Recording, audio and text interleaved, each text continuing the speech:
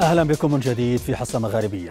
قال البنك الدولي في تقرير صادر عنه إن الأداء الجيد لقطاع التعدين وخفض الدين أنقذ الاقتصاد الموريتاني من الانهيار جراء تداعيات جائحة كورونا.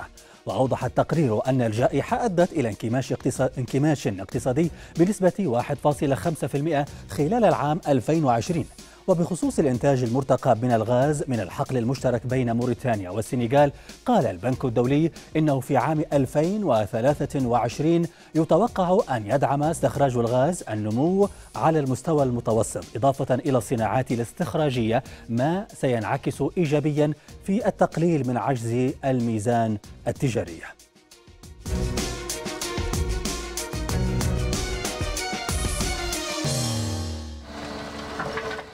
بعد عامين من الضغوط عليه بسبب جائحة كورونا الاقتصاد الموريتاني ينجو من الانهيار بسبب الأداء الجيد لقطاع المعادن ونشاط التعدين التقليدي بحسب تقرير صادر عن البنك الدولي. ويترقب التقرير تعافي اقتصاد البلاد في أفق عام 2023 بعد أول انكماش اقتصادي منذ العام 2008 بلغت قيمة الصادرات المعدنية الموريتانية خلال السنة المنصرمة حوالي 2 مليار دولار وشكلت حوالي 25% من إجمالي الناتج الداخلي الخام الموريتاني. لكن الأداء الجيد لنشاط التعدين الذي ساهم في إنقاذ الاقتصاد الموريتاني يعود لأسباب خارجية أكثر مما هي أسباب داخلية. يعود لارتفاع أسعار خامات الحديد بسبب زيادة الطلب الصيني ويعود إلى تحسن أسعار الذهب بسبب أنه الملاذ الآمن أثناء الأزمات. ويقول تقرير البنك الدولي إن انخفاض الصادرات السمكية التي تشكل أحد ثروات البلاد قوبل بأداء جيد لإنتاج التعدين. وبحسب المعطيات الرسمية تجاوزت مداخيل قطاع التعدين الأهلي 100 مليون دولار خلال العام الماضي بينما أسهمت شركة الصناعة والمعادن ثاني أكبر شركات الحديد بإفريقيا في زيادة مداخيل الميزانية وتسديد كتلة الأجور.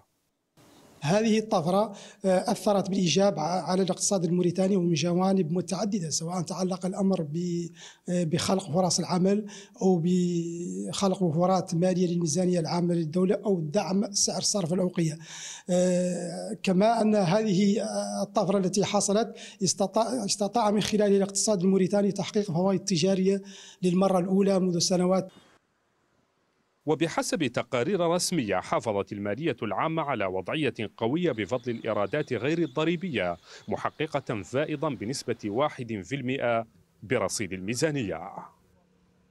بحسب المعطيات الرسمية تضررت قطاعات النقل والتجارة والصيد والخدمات بسبب تداعيات جائحة كورونا بينما ارتفع أداء قطاع التعدين إلى مستوى إنقاذ الاقتصاد من الانهيار مدعوما بتعليق نسبة 20% من الدين الخارجي. محمد راشي قناة الغد نواكشوط. وينضم إلينا من لندن محمد الفلالي الخبير الاقتصادي والقانوني الموريتاني. أهلا بك معنا في حصة مغاربية سيد الفلالي بداية ما رأيك في تقرير البنك الدولي وهل ما يقوله عن الاقتصاد الموريتاني يدعو للتفاؤل على الأقل مستقبلا؟ أهلا شكرا للاستضافة. فعلا هذه أخبار جيدة بالنسبة لموريتانيا لأنها لأنه اقتصاد هش طبيعته وبالتالي هذه أخبار سارة. اللي اللي الحقيقة هو اللي ما حدث هو الناتج المحلي الاسمي هو اللي هو اللي ارتفع ب 35.5% وبالتالي ما فم ما خلقت فم زيادة بالإنتاج. وما حدث هو هو زيادة بالأسعار الأسواق الدولية.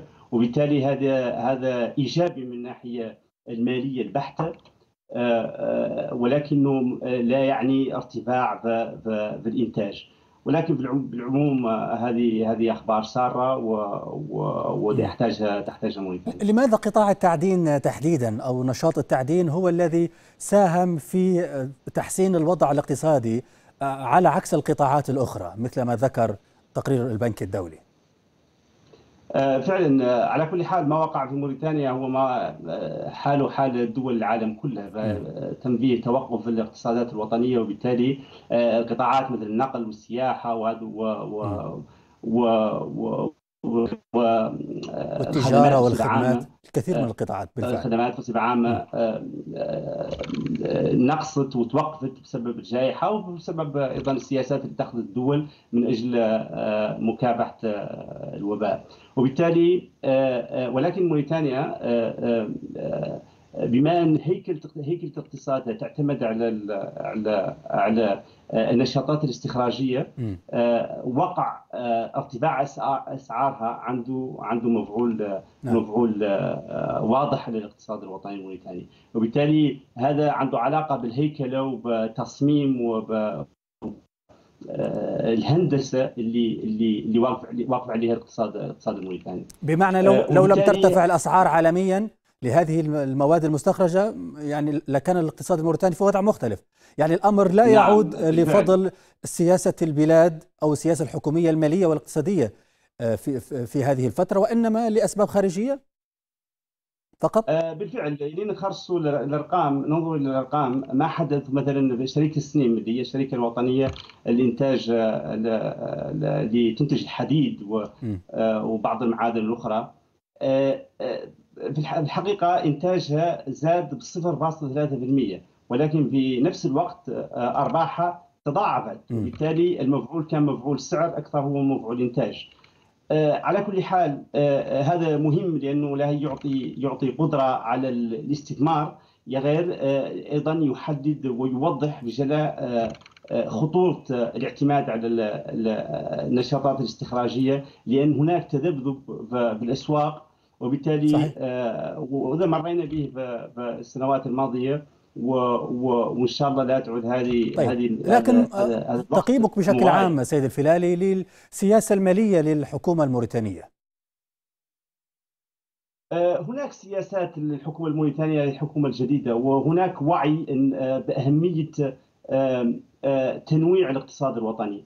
وحسب المعلومات اللي عندي الدولة ماشيه على ذيك الطريق. وبالتالي ولكن هذه هذه هذا هذا هو تصميم الاقتصاد الموريتاني وبالتالي يحتاج الوقت بتغييره وحسب علمي الحكومة الجديدة على على دراية بذلك وقناعة تامة إنه من الواجب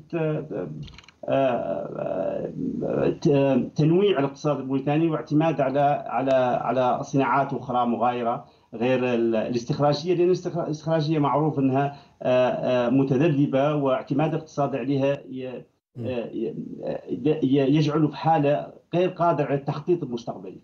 نعم لكن أيضا فيما يتعلق بالدعم أو المنح التي تأتي من الخارج خصوصا فيما يتعلق بالبنك الدولي نفسه في آه، الشهر الماضي فقط آه، تم إبرام تقريبا ثلاثة اتفاقيات مع البنك الدولي وتم تقديم منحه ماليه اجماليها يصل إلى 145 مليون دولار أمريكي على شكل هبات، أيضا هذه كيف يمكن أن تساهم في تحسين الاقتصاد؟ وأيضا هل تستغلها الدولة أو السلطات الموريتانية بشكل جيد حتى تنعكس على واقع المواطنين؟ وباختصار لو سمحت.